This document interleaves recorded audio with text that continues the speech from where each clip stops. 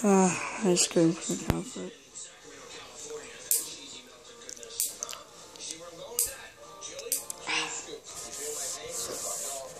Cause my nail.